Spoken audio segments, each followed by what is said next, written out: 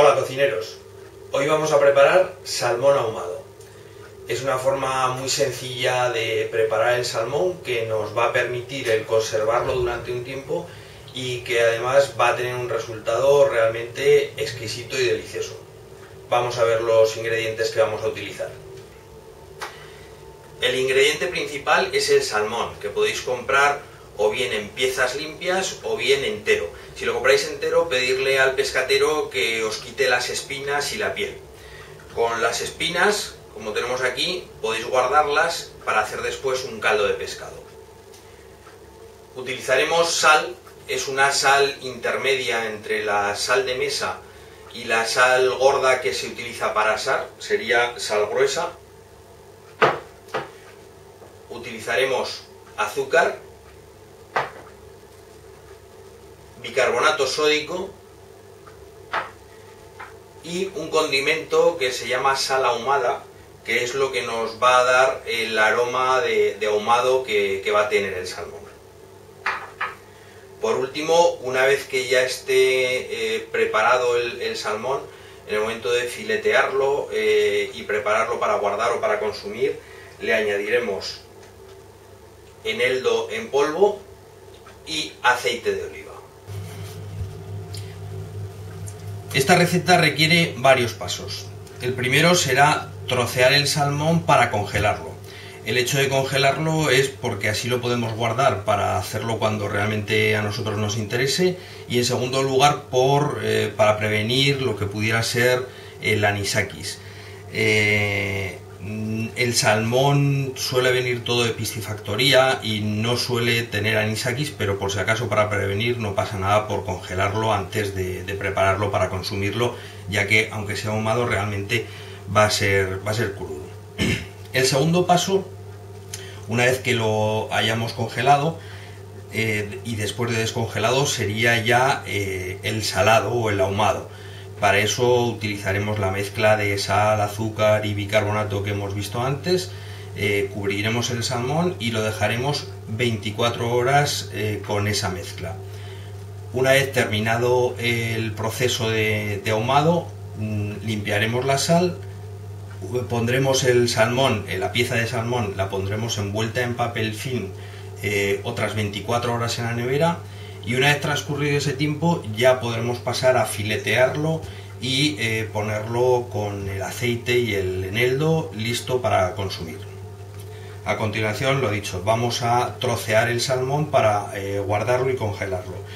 Eh, en piezas de este estilo de, lomo, yo lo que os aconsejo es que la parte de la falda, que es esta que es más finita, no la utilicéis para, para ahumar la podéis eh, cortar y utilizarla o bien para consumirlo en fresco o bien para un plato que no necesite una presentación vistosa como pueda ser un lomo o una rodaja o incluso para, para sushi. Simplemente le damos un corte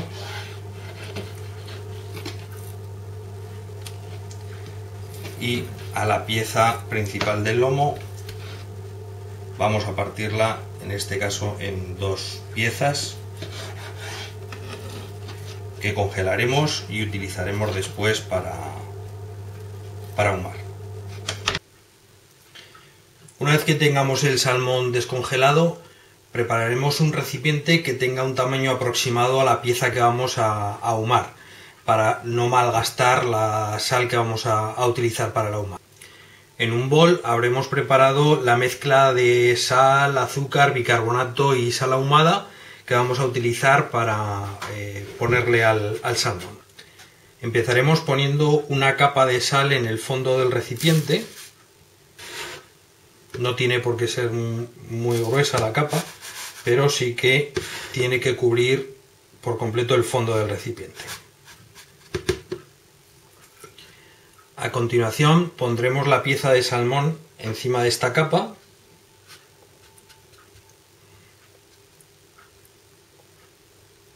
dejando un espacio más o menos uniforme por, por, los lados.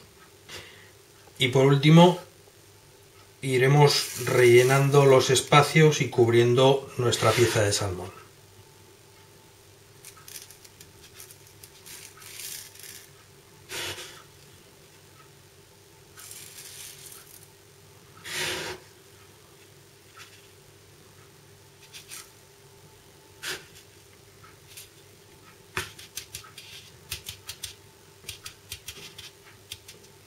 Debe quedar completamente cubierta, que no se vea nada del salmón.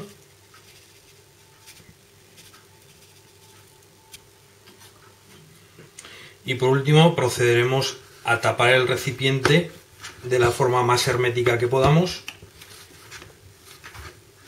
para que no se vaya el aroma de, ahumado que tiene el preparado de la sal.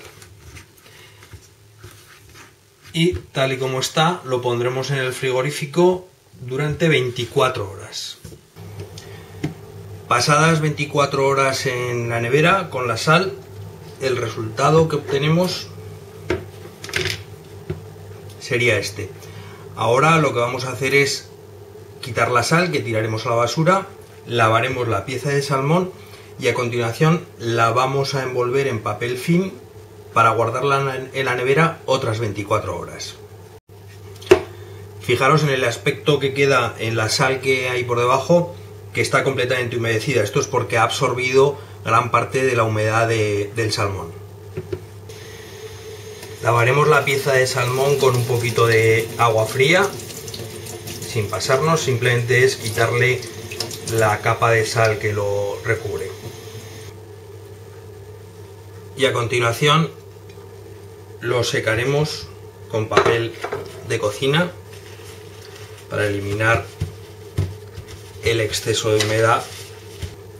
Y por último lo envolveremos en papel film para tenerlo otras 24 horas en la nevera.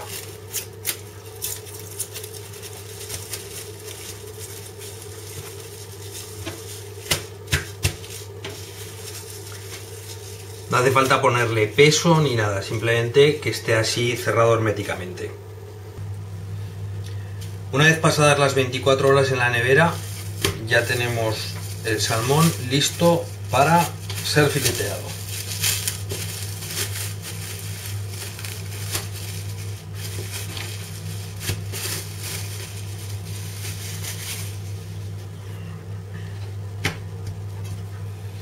Tomaremos un cuchillo bien afilado e iremos haciendo filetes finos.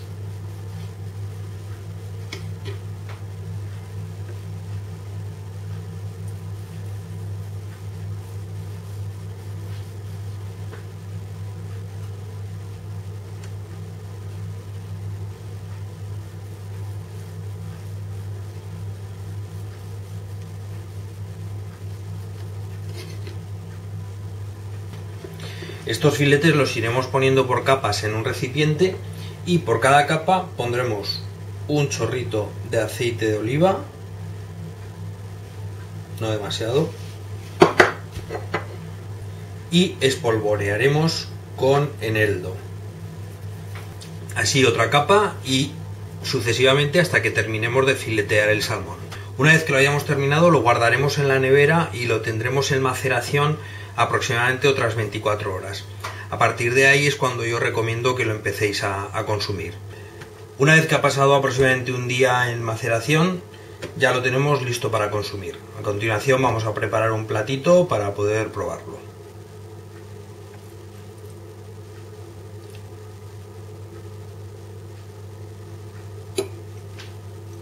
La forma de consumirlo puede ser así tal cual con un poquito de pan tostado o bien formando parte de cualquier receta que incluya salmón ahumado.